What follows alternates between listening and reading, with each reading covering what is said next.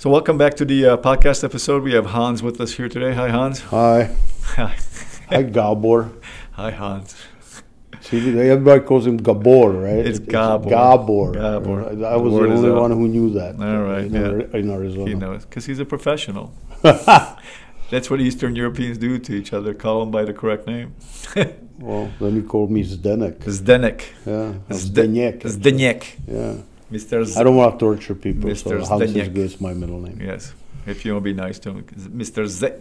Z- Z- Zdenek. Yeah, I used to type on typewriter my name, and, and there was this uh, uh, spell check. As soon as I typed ZD, it Just beeped like on me. blows it up. um, today's topic, Hans, is High drive dogs are they necessary for protection? yeah, are they? Yeah, well, this is actually long. I don't know if you have enough time. We I'll try to make it succinct. okay. Um, basically, the answer is no. You do not need high driven dog for personal protection. You want moderate driven dog. Personally, and people say, oh, Hans is biased, but personally, I think German Shepherd, but German Shepherd is the uh, well balanced German Shepherd is a perfect dog for it. German Shepherd is uh, is, is or has been always popular because its versatility. You can do protection, you can do search and rescue, you can go seeing eye dogs, whatever, right? Bomb detection, whatever. Right. It's the Yeah. same dog. You can put him on any path, and he should be able to do. Uh, he, he he should be able to do uh, whatever path you put him on. Mhm. Now, uh, the problem arrived uh, with uh, with the um, uh, with the the change of the training system. All right, I call it sportism, meaning what happened in early '80s. A lot of uh, dogs were imported from Europe uh, for protection training for law enforcement, and uh, the law enforcement agencies didn't know what um, you know. They need a trainer. So what did they do? They went to sport clubs, and they um, they uh, they hired trainers there because it looks good. Dog flying through the air, hitting the sleeve was impressive. It is impressive. Yeah. Okay. sure. And I like to watch it. That's why so many uh, YouTube video views. yeah. Yeah. So, but but is that a personal protection? No, it's not. yeah. But for that, the higher drive the dog is in prey, uh, the better he looks. Okay, Yeah. uh, because you know he, he runs faster, jumps higher, Yeah. and whatever. Yeah. Okay, Looks good. and so so they modify the personal protection training from the sport into personal protection training in uh, uh, like law enforcement or personal protection training in everyday life. And all those trainers now started to uh, do this type of a training, which is based on prey, Okay. right? That's a big one. I That- mean, right, that's yeah. a big one. And uh, and as I always say, prey is for hunting and defense is for defending. Right? So so not rocket science. yeah, well, I try to simplify it uh, for everybody. Yeah. Bring it to the lowest common denominator. Yeah. Um, Yeah. and uh, and so so so but so but in sport the defense unfortunately is not as promoted okay now there are some clubs or people i know like i, I know a group in portugal for example who do uh, develop they start dog in defense and then they bring them to sport so they develop defense drive and then they bring it into sport which i think is a sound way to do sport because the dog look more real Yeah. right? It's not just some kind of a routine where the toy dog is performing circus tricks, Yeah. okay? It's actually for real. Yeah. You know, he, they still teach them to target the equipment because in sport, like a Schutzhund style sport, you have to target the equipment, otherwise the decoy or the helper, they call it in sport, uh, will get bit in places where he doesn't have a protection, right? So you want him to target the, the equipment in sport. Uh, sleeve in this case. But unfortunately, that got developed into um, in that that that, that uh, leaked into the actual personal protection training, right? These these sport trainers, that's what they know. Yeah. They know how to make the dog look good in sport and all that. So they pick that up, and what they do is they target. They teach the dog to target the equipment, right? Because that's what they do in sport. Or- and then they withdraw the equipment with the idea uh, that the dog, if the equipment is not there, will bite for real, Okay. bite, bite whatever is there. Okay. And unfortunately, that's not how it works, right? That's why you see dogs, uh, uh, a real police dog in action, they run towards the bad guy, they don't see sleep and they won't bite, Yeah. right? But that's more like a default thing. That's not what I want to talk about today Yeah. what what is uh, what what I want to talk about is that all that is high driven, right? So now you take, you know, the sport and sportism. You want a high prey drive, Yeah. right? Because the dog looks better, Yeah. right? Now the the good German Shepherd should be able to um, sport or personal protection. Okay, so so for that you need or search and rescue or whatever. You want a moderately driven dog right? So that it dog can live in the family, herd sheep, or you know whatever, or lay down on the floor uh, in your office for five hours without Yeah. climbing the walls, right? Yeah. And uh, and so so, uh, but suddenly uh, this, this these dogs, um, the moderator driven dogs, they were trained wrong way. They were trained by the high prey or they are trained with high prey developing high prey methods where the dog is really high prey drive like malinois and Yeah. stuff okay and and the shepherd is not designed for that type of training doesn't mean he cannot do personal protection it's just the training system is wrong Yeah.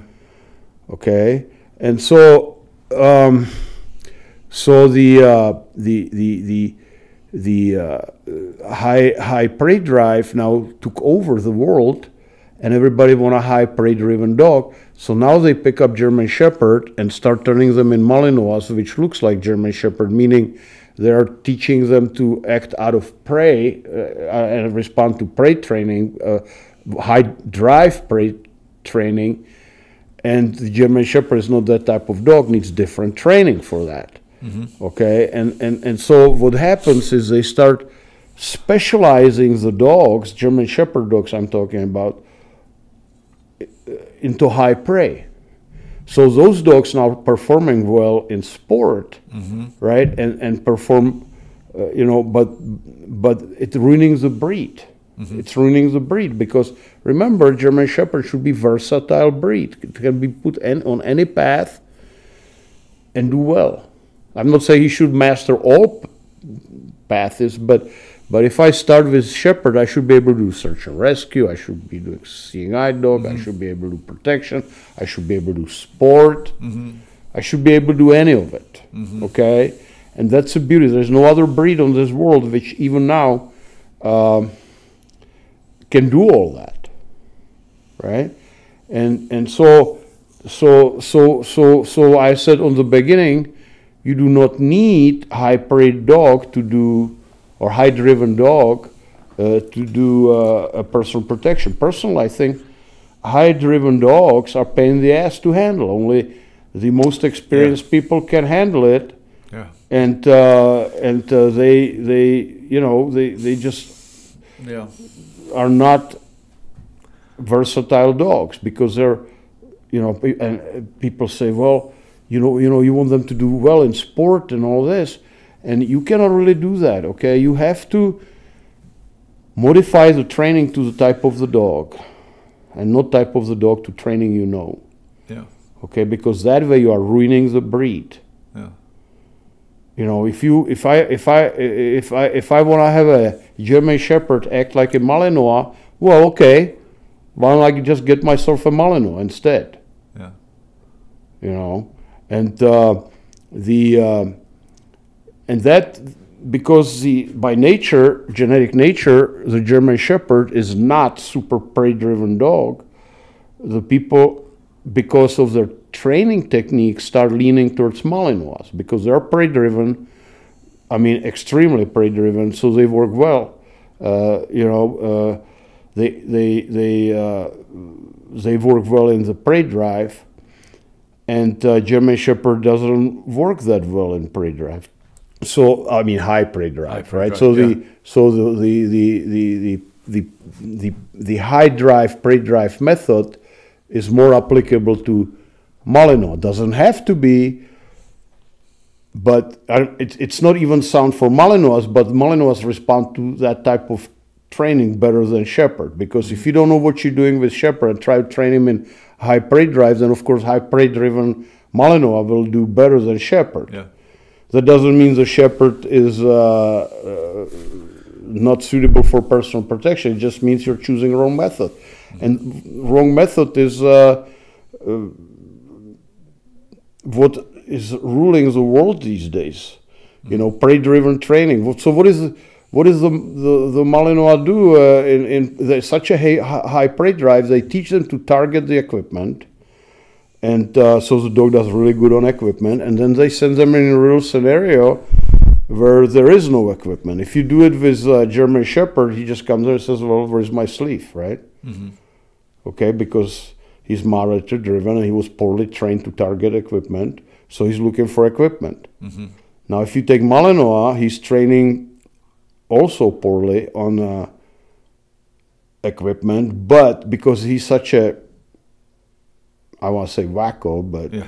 I will not. Nobody heard this. and, and he goes into a scenario, Yeah. and the dog uh, doesn't seem sleep and he's so amped up to bite something, so he bites. Yeah. But he does it uh, despite of the training, not because of it, Yeah. right? Where shepherd, you know, you, you, you train him in high prey drive or for prey uh, action, Yeah. and of course, if you train for prey action, the higher prey, better it is. And you teach him to target equipment. That's good for sport because there is equipment. Yeah. But if uh, you do it in uh, uh, police work or personal Yeah. protection dog, there is no equipment. Dogs like there's no sleeve, so I should what? what Yeah. You know, and uh, that doesn't mean the dog cannot be trained protection. It could be trained protection, but it got to be done the way I teach it Yeah. right? And and it's not, you know, people say, uh, what did this one guy called me on Facebook? Obsolete dog trainer.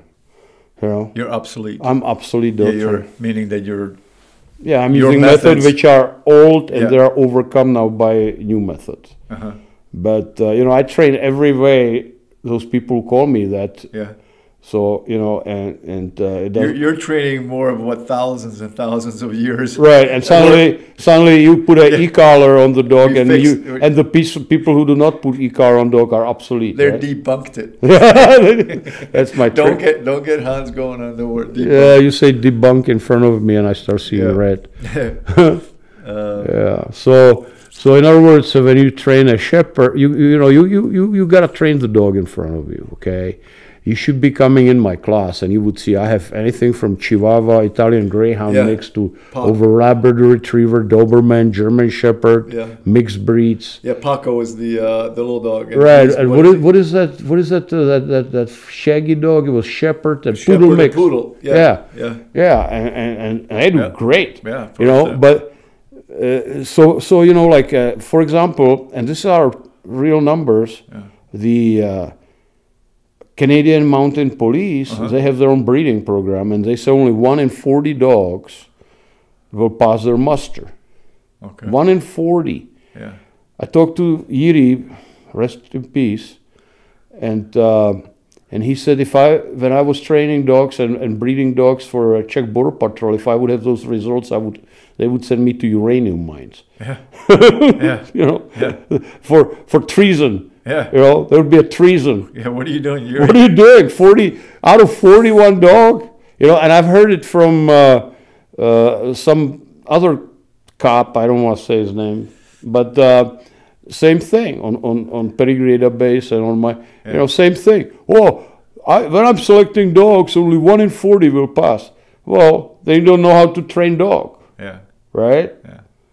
You know, and that's because they're training in high prey, Yeah. right? And if the dog doesn't fit high prey and their standard, they don't know what to do. Yeah. You know, they're trying to put the square peg They to played the dog basically. Yeah, well, right? genetics and whatever. Yeah. It's all Or- genetics. yeah. Well, if it's all genetic, how come I can train Chihuahua, man? Yeah.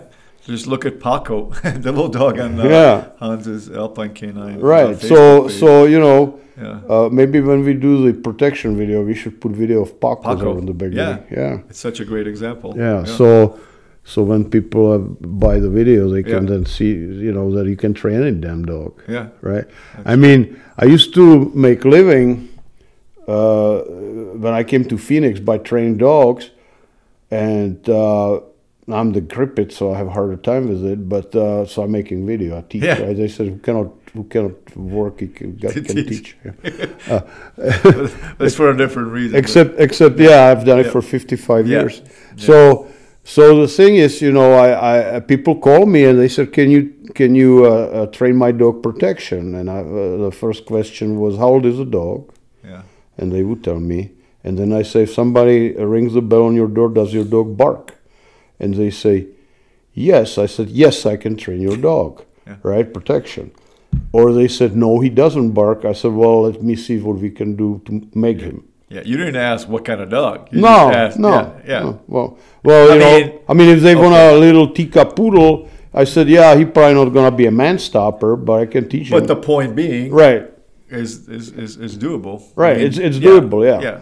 You know, I mean, there are physical limitations Yeah. to a dog, right? Yeah, You not know? everybody could be a linebacker, right? Right, I mean, you know. for the NFL, but so there's Yeah, or, physical. or or you know, throw basket if you're seven feet tall. Yeah. You know, but so so anyway, what I'm saying is, you do not need going back to full circle.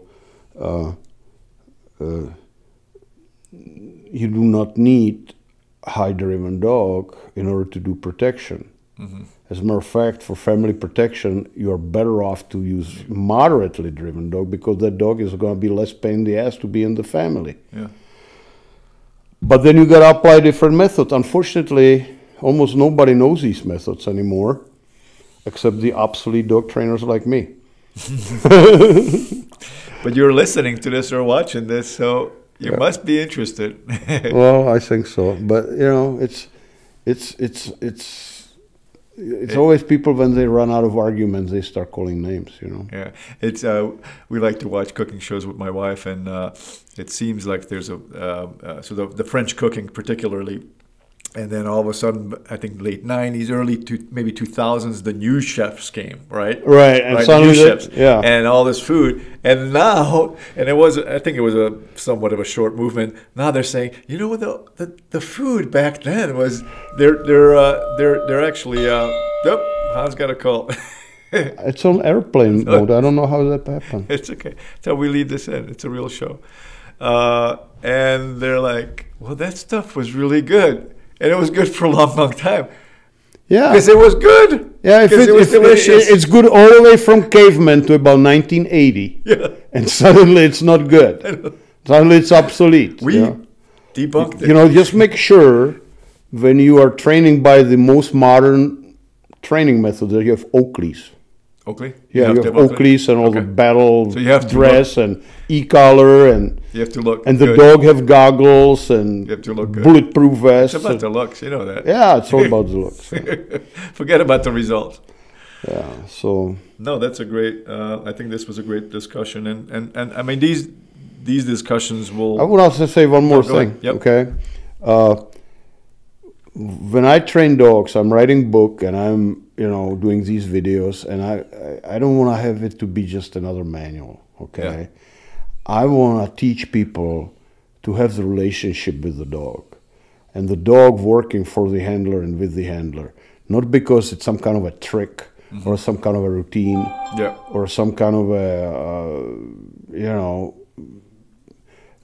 circus trick Yeah. you know I, I, I just I, I want them to do it like we're a team Yeah. you know like the wolf has a leader and they go hunt deer Yeah. and you know what I was um I was up in Wyoming and I was watching coyotes they are not wolves and they don't really live in packs right that much Mm-hmm. but but it was interesting I would go camping in middle of the winter Mm-hmm. right, with my dogs on cross country skis and all that. And I would go and and at, in the evening, you know, or so, like like not too late, but just about after sunset, Uh-huh. suddenly you start he- hearing coyote Yeah. howling, right? Yeah. Yeah. You know, you yap. Yeah. And uh, it's different than wolf. And uh, and then and then uh, you uh, you suddenly hear another one, like completely somewhere else, Mm-hmm. right? And then you hear another one, completely somewhere else, and they may be mile apart. But you know they marking their territory and they hunt together and they communicate with each other. And wolves do the same thing, as even more so. Yeah. You know, and, and, and, and so they have a leader for the region right? They know, oh, your boss over there, so I mm-hmm. won't enter your territory. And, and the coyotes do that, and, and wolves say, okay, there's a there's a deer, you know, and they, they communicate with each other, Yeah. right? And and they work like a pack. Yeah. And you know, people, I call them idiots.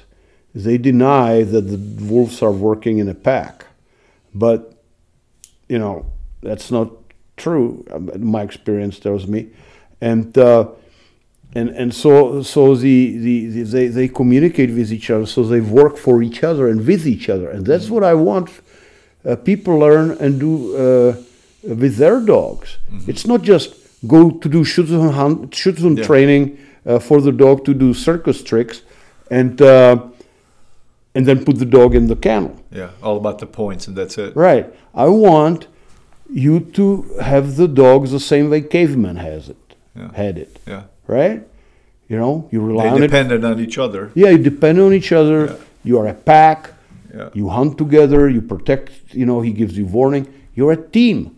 Yeah. That's what I'm trying to teach.